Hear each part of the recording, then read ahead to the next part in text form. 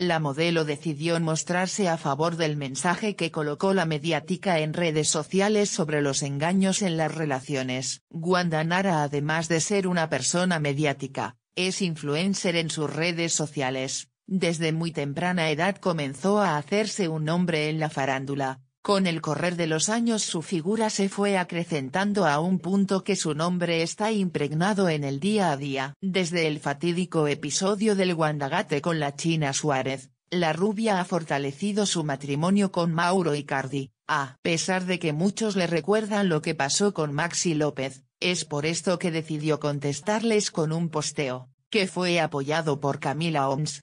Camila es una mujer que ha sido golpeada por la infidelidad, por el momento no ha sido comprobada, o el desamor, es por eso que decidió apoyar con un like a Wanda Nara cuando compartió una poderosa reflexión sobre esto, no confundas mujer libre con mujer fácil. La primera elige. La segunda se conforma.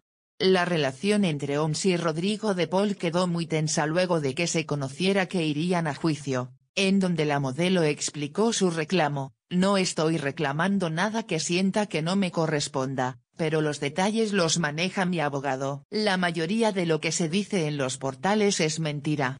Estoy reclamando lo que me corresponde después de 12 años de relación, de tanto tiempo que yo acompañé y sostuve.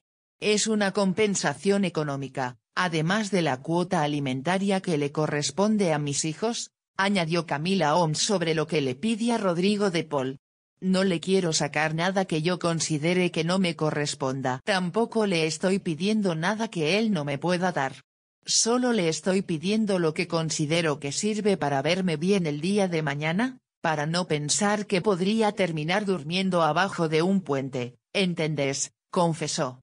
Justamente por estas declaraciones, Yanina Latorre explotó contra Camila Oms y la trató de obscena, él le pasa muy buena cuota, es obsceno lo que está diciendo, no podés hablar así. Hay que decir la verdad, ella estuvo 12 años con él, pero de noviazgo.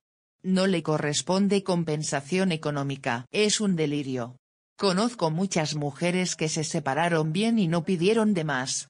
Ella estaría pidiendo el 10% de lo que él gane de acá a futuro, quiere ser socia.